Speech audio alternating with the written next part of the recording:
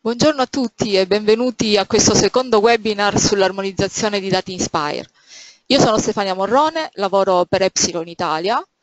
Eh, giusto una breve introduzione a beneficio di chi non ha potuto seguire il primo webinar. Eh, Epsilon Italia è un'azienda privata che opera da 20 anni nel settore geomatico e da 10 anni è attivamente coinvolta nell'implementazione della direttiva Inspire. E proprio dall'esperienza maturata con la partecipazione a diversi progetti europei, grazie all'assistenza tecnica fornita all'Agenzia Ambientale Europea e anche ad alcuni Stati membri, è nata in noi l'idea di creare un Inspire Help Desk per fornire assistenza ai vari soggetti pubblici eh, e privati anche interessati dall'attuazione di Inspire. E in questo contesto abbiamo pianificato una serie di webinar gratuiti con lo scopo di sensibilizzare verso le tematiche e i requisiti relativi alle varie fasi attuative della direttiva Inspire. Siamo pronti a partire. Ehm, quale sarà il contenuto del nostro webinar? Eh, vedremo gli adempimenti della direttiva Inspire relativamente ai servizi di rete, il processo di armonizzazione Inspire, eh, vedremo proprio l'ultimo step, lo step di pubblicazione del dato territoriale,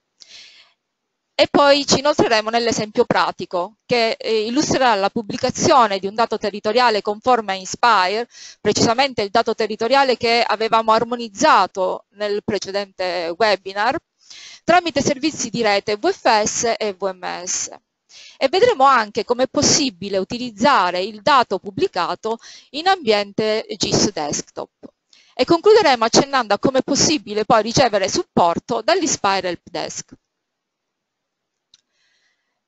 Per garantire che le infrastrutture dei dati territoriali degli Stati membri siano compatibili e utilizzabili in un contesto comunitario o transfrontaliero, la direttiva Inspire prevede che siano adottate delle norme comuni per l'interoperabilità eh, per i vari componenti di una um, infrastruttura di dati territoriali, quindi per i metadati, per i dati e i servizi. Oggi ci occuperemo dei servizi di rete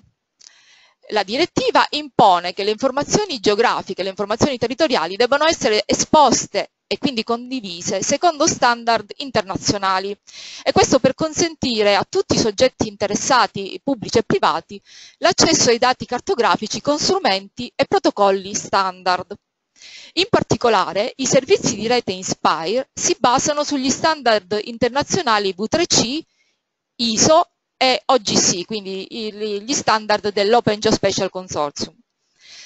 Le norme di attuazione Inspire per i servizi di rete, eh, le Implementing Rules for Network Services e le relative linee guida tecniche forniscono le specifiche tecniche per i servizi di rete conforme, conformi ai requisiti della direttiva e eh, questi documenti sono scaricabili dal eh, sito Inspire. La direttiva ha identificato anche una roadmap con scadenze intermedie per la fornitura di metadati, dati e servizi conformi ai requisiti. La prossima scadenza è quella del 23 novembre 2017. Eh, lo abbiamo visto anche nello scorso webinar. Per questa data la direttiva impone non solo che i dati territoriali siano resi conformi ai modelli Inspire, ma anche che tali dati siano resi disponibili attraverso servizi di rete conformi, conformi ai requisiti Inspire. Come ottenere un dato conforme Inspire? Nello scorso webinar ci eravamo occupati della trasformazione dei dati territoriali in conformità ai modelli dati Inspire attraverso l'uso di un software di trasformazione. Chi non ha avuto modo di partecipare o volesse semplicemente rivedere il webinar può andare sul canale YouTube di Epsilon Italia di cui vedete l'indirizzo vedremo come è possibile esporre il dato trasformato, abbiamo visto come nel precedente webinar, attraverso servizi di visualizzazione e download e in particolare tramite servizi web VMS e VFS. Il processo di armonizzazione di un dato territoriale Inspire può essere schematizzato in una serie di passaggi o step. Eh, riprendiamo adesso la slide eh, che abbiamo utilizzato già nel precedente webinar e che illustra il processo di armonizzazione Inspire. La scorsa volta ci eravamo occupati dei primi step relativi alla produzione di un file GML conforme. Oggi ci occuperemo dell'ultima fase relativa alla pubblicazione del dato e vedremo come è possibile creare dei servizi di rete VMS e VFS senza eccessive difficoltà grazie all'uso di due software open source, EIL e GeoServer. Ovviamente esistono diversi, eh, diverse configurazioni di, di, di software che possono essere utilizzati per la pubblicazione dei dati. Noi oggi vedremo eh, una soluzione open source, eh, in particolare EIL e GeoServer, perché sfrutteremo le sinergie tra questi due software e vedremo eh, come fare. Quindi riprenderemo il progetto EIL usato come esempio nello scorso webinar e pubblicheremo il dato trasformato. Eh, e finalmente potremo dire di aver ottenuto un dato armonizzato conforme alla direttiva INSPIRE. Un, giusto qualche notizia sui software che utilizzeremo. EIL è un software di trasformazione open source e consente di trasformare un dato territoriale ehm, in conformità ai modelli dati target, nel nostro caso sono modelli dati Inspire, mentre GeoServer è un web server open source ed è utilizzato quindi per eh, la gestione di dati geospaziali, quindi per condividere, elaborare, ma anche modificare dati territoriali. I servizi web eh, forniti da GeoServer sono certificati OGC, sono quindi conformi agli standard internazionali dell'Open Geospatial Consortium. Eh, la pubblicazione dei dati Inspire con GeoServer è resa più facile dall'utilizzo congiunto del software EIL, che consente di creare direttamente il file di configurazione per la pubblicazione dei servizi VFS e VMS con GeoServer. In particolare sfrutteremo la funzione di EIL di Export Alignment nel formato App Schema Configuration, perché questa funzione consente di eh, configurare il, ehm, il data store application schema in GeoServer. Perché il tutto funzioni? Perché il tutto funzioni bisogna ovviamente configurare un'istanza di GeoServer e per Inspire bisognerà installare delle estensioni e in particolare le estensioni AppSchema e Inspire. Tali estensioni di GeoServer sono disponibili nella sezione download del sito eh, ufficiale di GeoServer. Eh, vanno scaricate e va eh, poi eseguito il file exe che si trova nello zip che verrà scaricato. L'estensione AppSchema, in particolare, consente di configurare i data store di tipo Application Schema, che consentono il mapping dei dati verso un modello dati target, quindi un application schema target, e nel nostro caso i modelli dati Inspire. E consente anche la gestione di complex feature type, quindi eh, strutture dati più complesse che sono tipiche dei modelli Inspire. La seconda estensione da installare, che è l'estensione Inspire, consente poi a GeoServer di essere conforme alle specifiche di View Service e Download Service di Inspire, in quanto aggiunge le informazioni relative alle Extended Capabilities ai metadati dei servizi. Eh, la seconda ehm, cosa che bisogna fare perché eh, tutto funzioni è quella di rendere disponibile il dato sorgente in un database spaziale, ad esempio PostGIS. Eh, abbiamo scelto PostGIS perché è nativamente supportato da GeoServer, mentre per usare altri DB quali Oracle, MySQL o SQL Server bisogna installare le relative estensioni, sempre da scaricare eh, nella sezione download del sito GeoServer.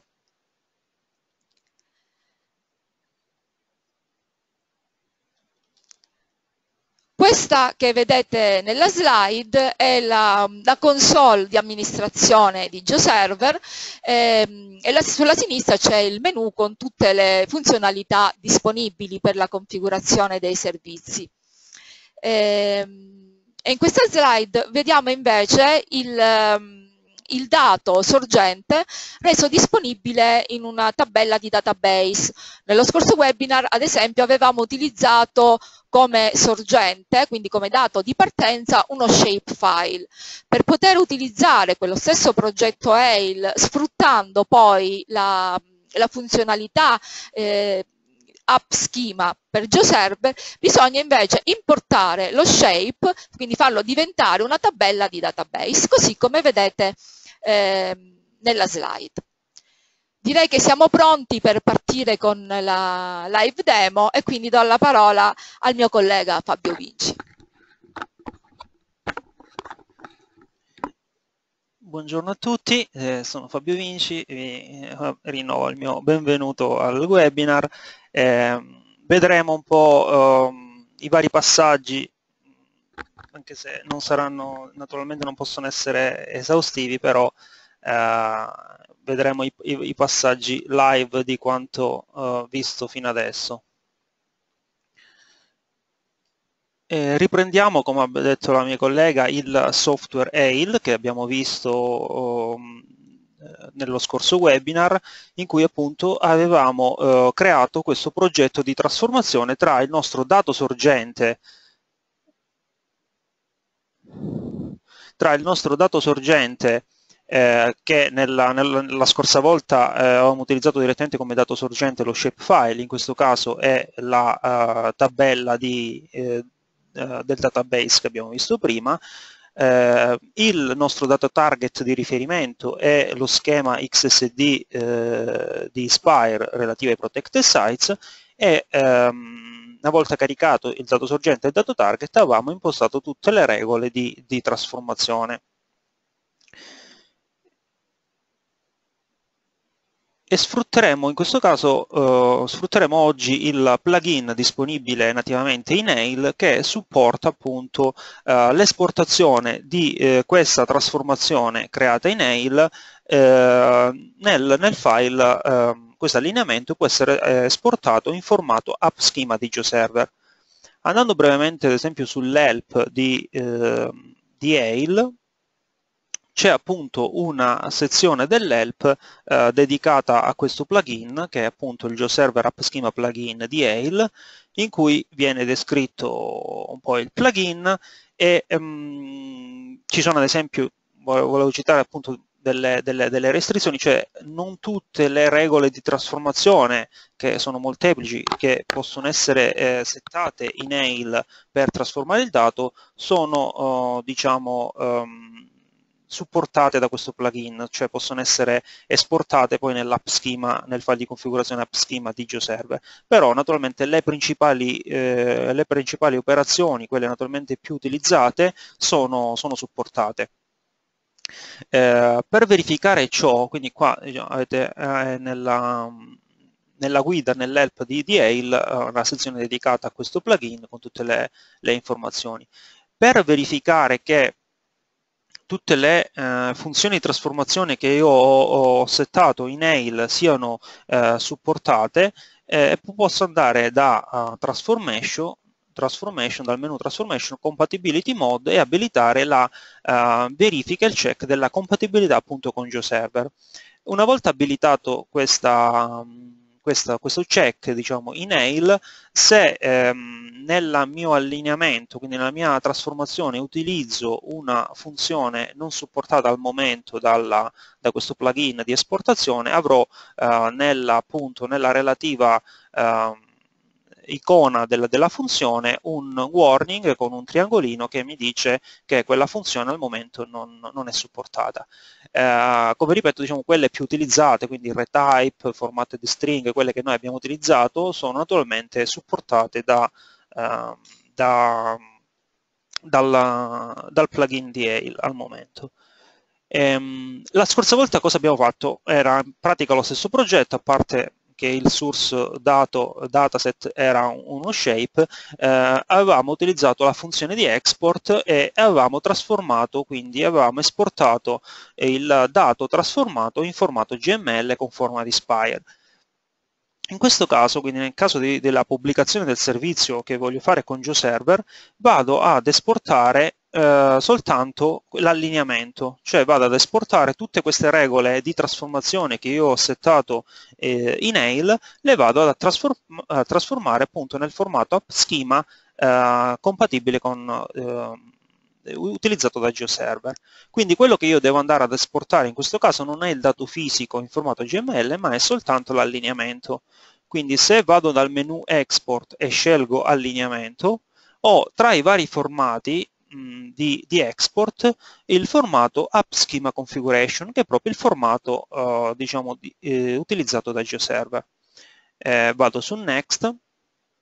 e eh, scelgo appunto il nome e la posizione dove salvare questo file. Eh, se vado su Browse, naturalmente vado nella, nell'Explore risorse di, di, Windows e scelgo la posizione del file. Tra i vari formati, importante da notare, qua ho la possibilità di esportare il solo allineamento XML ho la possibilità di esportare l'app schema, eh, tutto l'archivio di configurazione che è completo, quindi eh, conviene soprattutto eh, esportare in questo caso appunto il file zip e quindi tutto l'archivio e tutti i, i, cartelle e file che poi vedremo necessari appunto a, eh, ad andare a settare nella maniera corretta il, i servizi in GeoServer. Quindi scegliendo il file zip eh, scelgo il, nome e la posizione del file e eh, vado su salva. Al prossimo step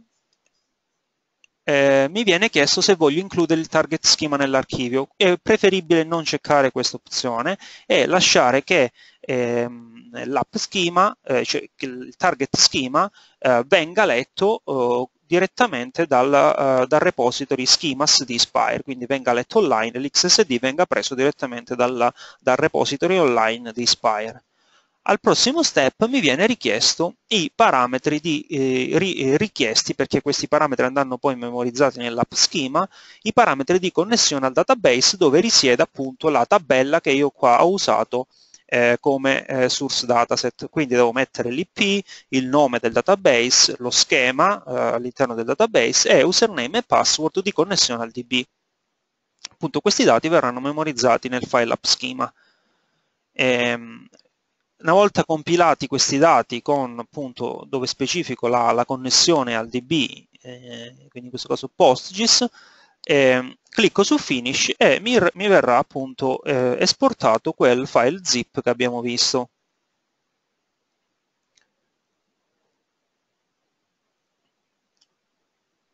Quindi avrò avrò in export il file zip, se eh, esplodo questo file zip eh, sono contenuto al suo interno una serie di eh, cartelle con alcune generiche, poi naturalmente quella specifica PS sta per Protected Sites relativa appunto al dato trasformato, in questo caso Protected Sites. Eh, cosa mi servono queste cartelle? Eh, riprendiamo la, eh, velocemente la um, la pagina di amministrazione di GeoServer, GeoServer eh, diciamo, ha una cartella che è la data directory, questa è la location di default, ma la posso cambiare, ha questa cartella data dir dove eh, al suo interno sono contenute tutti i file di configurazione di GeoServer. Tra, eh, all'interno di questa data dir eh, quindi che contengono tutti i file di configurazione, c'è una cartella workspaces che apro, e eh, che contiene appunto le, le cartelle, tutti i file, i file relativi appunto ai workspace di, di GeoServer. Quindi quello che ha esportato AIL, quindi nel pacchetto zip, sono tutti i workspace, queste cartelle corrispondono quindi ai workspace di GeoServer che mi servono.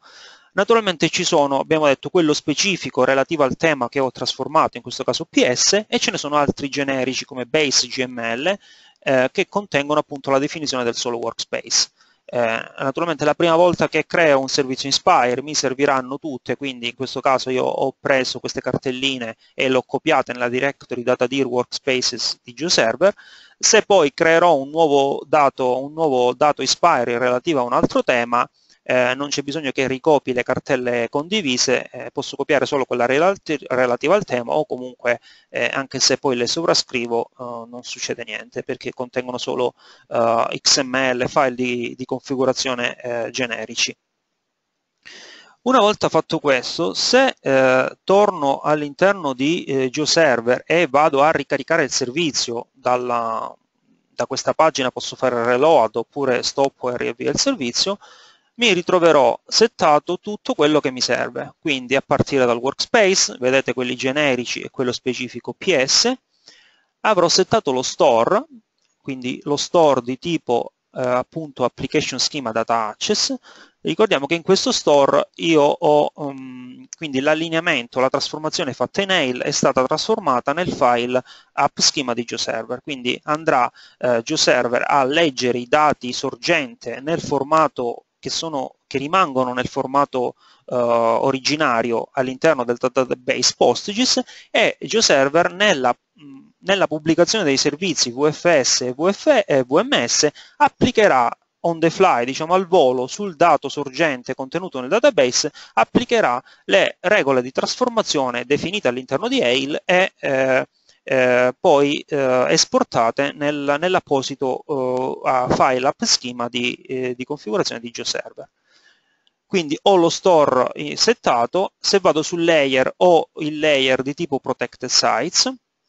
anche qui eh, creato eh, in automatico. Se vado sul layer protected sites eh, o accedo poi a una serie di configurazioni che in genere non devo eh, devo, diciamo, su cui non deve intervenire. Eh, l'unica cosa potrebbe essere che ad esempio il, eh, potrei avere problemi di visualizzazione del dato, soprattutto del VMS, se non è settato eh, diciamo, le corrette coordinate del bounding box. Se eh, diciamo, queste caselline sono vuote, non sono compilate, posso andare a eh, forzare la compilazione in automatico, eh, andrà a leggere il dato GeoServer e compilerà in automatico queste, le coordinate relative al bounding box e eh, posso cliccare su Save. Eh, quindi eh, GeoServer, l'interfaccia mi mette a disposizione poi una, uh, diciamo una, preview del dato, in questo caso vedo il mio layer uh, in, nella, nel menu Layer Preview, vedo il mio layer Protected Sites e ho qua un, posso avere un'anteprima del dato in uh, formato VMS, così vedete i Protected, protected Sites della, di Malta, eh, una preview del dato e ho una serie di eh, query predefinite per eh, interrogare appunto i servizi, vedete VMS nei vari formati e VFS. Eh, questa qua query predefinita eh, si aggancia al servizio in formato 1.1 e qua vedete quella, la stessa query che interroga appunto, questo è il namespace del mio servizio, inter sto interrogando quindi questo servizio VFS in versione 2.0 che è quella richiesta da Inspire con un'operazione di getFeature. Quindi qua ho la restituzione del mio dataset in, eh, tramite appunto in, ho, il mio, ho il VFS che espone il mio dataset armonizzato e conforme ad Inspire. Infatti tra gli schemi di riferimento di questo dataset vedete oltre agli schemi generici del VFS e del GML vedete la, la indicazione dello schema eh, Inspire Protect Sites XSD eh, letto direttamente dal repository ufficiale Inspire e quindi qua posso navigare o l'anteprima, chiudo la geometria che è quella più lunga, o, o l'anteprima del mio dataset, vedete la struttura del dataset conforme al data model Inspire con la sua tipica struttura d'albero, quindi con eh, attributi e eh, diciamo sottoattributi, quindi questa è la, la struttura Inspire. Quindi ho uh, diciamo, pubblicato in questo caso quindi il mio layer, il mio dato armonizzato in formato VMS e VFS vediamo uh, giusto adesso, uh, riprendo, prendo uh, l'utilizzo di questi dati all'interno di un software GIS desktop, in questo caso è il software open source QGIS, e, um, abbiamo detto che il VFS è in formato 2.0, che è quello richiesto da Aspire. Eh, al momento, almeno in questa, in questa versione attuale di, di, QGIS, non gestisce nativamente eh, diciamo, la la, il caricamento di eh, VFS 2.0, però vedete qui potete poi andare da plugin e installare questo plugin che si chiama VFS 2.0 Client, cui, mh, nel quale inserisco il namespace eh, della, del mio servizio, l'endpoint, scusate, dell'endpoint del mio servizio, interrogo il servizio dalle get capability e verifico l'elenco delle feature type dei layer pubblicati da questo UFS. In questo caso ho il mio layer PS, due punti protected sites. In questo caso scelgo quante feature eventualmente e eh, diciamo carico le feature. Io le avevo caricate, vedete caricato già in QGIS le, le mie feature e Eh, quindi sto, ho caricato uh, il dataset leggendo appunto lo stesso appunto tramite caricando appunto il, il dataset dal, dal VFS. Eh, se accedo alla, alle info del, di questo layer su uno dei, dei poligoni, eh, naturalmente questa tabella dei risultati di QGIS mi restituisce il, gli attributi eh, diciamo tra virgolette appiattiti, nel senso restituisce, mi restituisce eh, tutti gli attributi, avete visto eh, ad esempio prima eh, l'Inspire ID che ad esempio è di tipo identifier ed è fatto da un local ID e da un namespace, quindi questa struttura d'albero eh, degli attributi della, del, della struttura dati Inspire. E in questo caso vedete ho, ho, ad esempio il local ID e il namespace che mi vengono comunque restituiti in questo caso in questa visualizzazione di, di QGIS in formato piatto però ho tutti gli attributi presenti nel dato, nel dato Inspire. Eh, giusto per farvi vedere la struttura, il mantenimento naturalmente del, del, della, della, struttura d'albero, eh, c'è un altro plugin che si chiama, vedete, Complex GML Info, che alla selezione, uh, sfruttando la, la, la, funzione selezione di QGIS, alla selezione di un oggetto sulla, sul mio layer VFS e attivando uh, questo plugin o, vedete in questo caso, mi restituisce l'esatta struttura degli attributi eh, conform del dato conformi Inspire, quindi con la classica eh, diciamo, struttura annidata mh, ad albero. Eh, allo stesso modo ho in questo caso utilizzato invece perché eh, diciamo, QGIS legge i VMS 1.3, ho utilizzato la funzione nativa di QGIS di caricamento del layer VMS, vedete ho mh, creato questa connessione utilizzando sempre l'endpoint del servizio, quindi ho settato questa connessione, mi vado a connettere al uh, VMS in questo caso e mh, tra, su questo VMS appunto vedo il layer eh, disponibile tramite questo mm, endpoint VMS. Vado sempre a fare aggiungi, in questo caso l'avevo già aggiunto, e aggiungo il layer VMS alla mappa. Spengo il VFS, riaccendo il VMS, vedete quindi lo stesso dato armonizzato eh, Inspire conforme a, alla, eh, ai requisiti della direttiva Inspire pubblicato tramite servizio VMS. Anche in questo caso è abilitato anche sul VMS l'info del, del layer, quindi se vado con la funzione info di QGIS sul layer, eh, in questo caso questo formato HTML, vedete questa rappresentazione e ho anche qui sul layer VMS la uh, rappresentazione, uh, la visualizzazione, posso visualizzare quindi gli attributi uh, del, in questo caso del poligono su cui ho cliccato eh, in questa rappresentazione che mi dà sempre, eh, diciamo, mi identifica eh, la, la, la, struttura d'albero, quindi quello che abbiamo visto prima, l'Inspire ID fatto da un local ID che è questo e da, da un namespace, quindi ho tutti gli attributi, in questo caso visualizzati nella, nella classica struttura eh, prevista da Inspire. Quindi questo è eh, poi l'utilizzo eh, dei, dei servizi che, uh, conformi Aspire che ho appena uh, pubblicato. E, la, la, abbiamo, abbiamo, finito la live demo, eh, naturalmente non poteva essere eh, esaustiva di tutti i passaggi naturalmente richiesti, ma era solo per uh, far vedere una possibilità tra le varie disponibili, soprattutto di una soluzione eh, utilizzando software open source, quindi alla fine eh, software che non richiede il pagamento di licenze, quindi una delle, tra le varie mh, tra i diversi software open source o possibilità, una delle, delle opzioni che ho di eh, utilizzare quindi in, uh, congiuntamente due software, uno quindi AIL per la trasformazione e eh, GeoServer per la uh, pubblicazione del dato eh, armonizzato e quindi conforme Spire. Eh, vi ricordiamo il nostro sito Inspire Help Desk dove trovate anche un blog su cui eh, pubblichiamo news o aggiornamenti su tutto quello che è poi la, la direttiva Inspire e anche il collegamento ai nostri servizi, il collegamento al, canale, al nostro canale YouTube Inspire in Pills dove troverete eh, dove anche, troverete anche questo, questo webinar e, e, lo scorso webinar per chi non, non l'ha seguito e la possibilità di eh, inviare tramite il nostro appunto mh, sito Ispire Help Desk una, vi potete registrare e ehm, eventuali richieste di supporto eh, potete aprire, registrarvi e aprire un ticket con una richiesta di supporto. Eh, abbiamo inserito oh, alla prime registrazioni 5 eh, ore free di, di supporto eh, giusto ai, ai nuovi iscritti. Eh, quindi sia tramite il sito, il nostro sito, siamo, oh, potete contattarci per qualsiasi esigenza appunto relativa all'applicazione della, uh, della direttiva. Grazie a tutti e al, al prossimo webinar.